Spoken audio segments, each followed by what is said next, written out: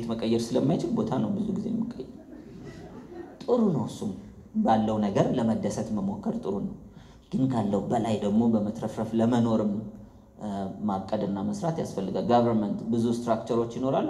ዜና ስታዩ እናንተ opportunity ነው እዛ ውስጥ እንትን እንትን የተባለው ድርጅት ማነው ቢሮ እንዲህ እንዲህ አይነት ፈንድ ለዚህ ዓመት መመደቡን አስታወቀ ሲባል በጠዋት እኮ ነው መሄድ ያለባቸው። ፈንዱ የት አለ? ለእኔ በዚህ ፕሮፖዛል መሰረት ይሄ resource ነው። resource እኔ ጋር የሌለውን ከሌላው እጠቀማለሁ። እኔ ጋር ደግሞ አለ የምለው ራዕይ አለ፣ ምክንያት ያለ፣ ማንነት ያለ፣ ግልጽ ነው። ሙያዬ ያለ፣ ግብ ያለ፣ የእኔ ፍላጎት አለ። ይሄ ሁሉ እኮ resource ነው እና ደግሞ ታምኖ መስራት አለ ታምኖ ሰርቶ መመለስ የሚባል አለ። ስለዚህ እሱን ሁሉ ማስቀመጥ ያስፈልገናል። government የምንለው ያ ነው። savings ሌላው savings የምንላቸው okay፣ እነዚህ ማይክሮ ፋይናንሶች አሉ። በማይክሮ ፋይናንሶች ውስጥ ሄዳችሁ save በማድረግ save ባደረጋችሁት አራት እጥፍ ምናምን በጠለፋ ዋስ ብድር የሚሰጡ ምናምን በደንብ እኔ ሁሉ የምነግራችሁ ሁሉንም ስለተበደርኩት ሁሉንም እናንተን ራሱ ስለማላቃችሁ ነው እንጂ በደራችሁ ነበር። የምታበድሩ አላችሁ። በዚህ አጋጣሚ የሆነ ብድር ስለ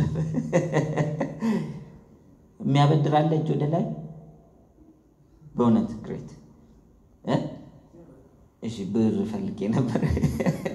ጊዜ ያበድራል። thank you by the way ሁሉም ነገር እኮ energy ነው አይደለ? ገንዘብም energy ነው፣ ጊዜም energy ነው። ስለዚህ እሱን ጊዜውን ከሰጠ ምን ይሆናል ማለት ነው?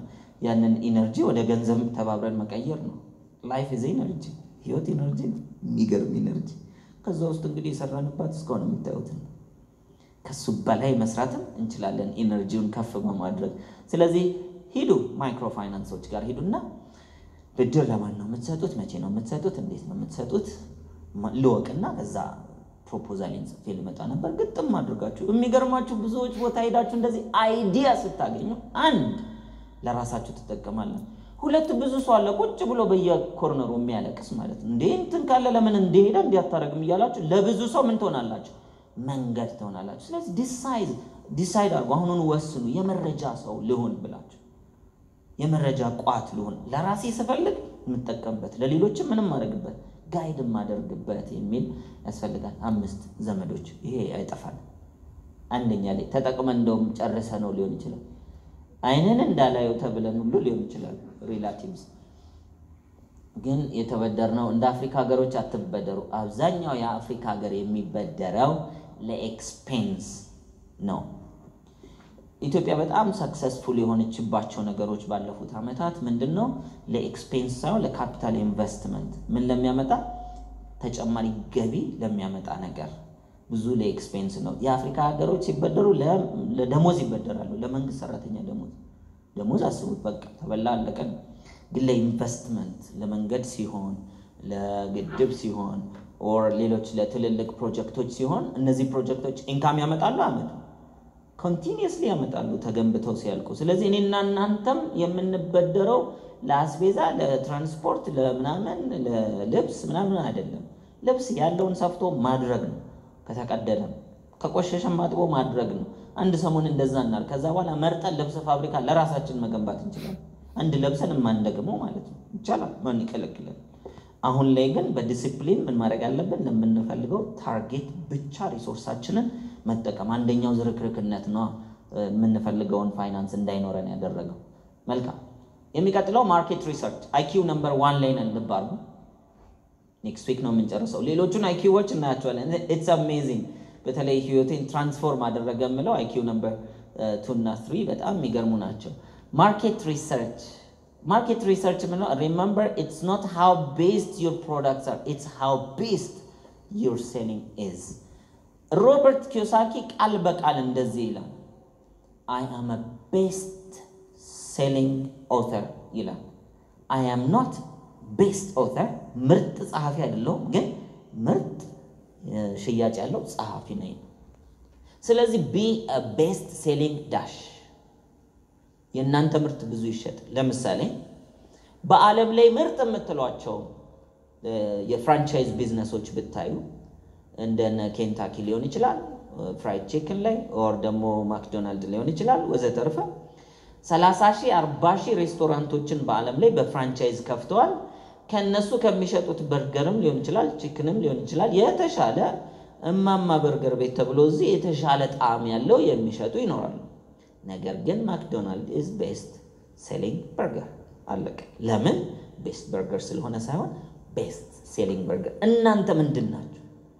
አሰልጣኝ ናችሁ? be best selling አሰልጣኝ። ጸሐፊ ናችሁ? be best selling ጸሐፊ፣ ወዘተርፈ። የምታቀርቡትን አገልግሎትም ሆነ ምርት best selling ምርጥ የሽያጭ ስርዓት ይኖራችሁ እንጂ ምርጥ product ቢኖራችሁ ምርጥ የሽያጭ ስርዓት ከሌላችሁ ዋጋ የለው። product ኣችሁ መጥፎ ይሁን አይደለም፣ average ከሆነ ይበቃል። በቂ የሚባል ከሆነ ይበቃል።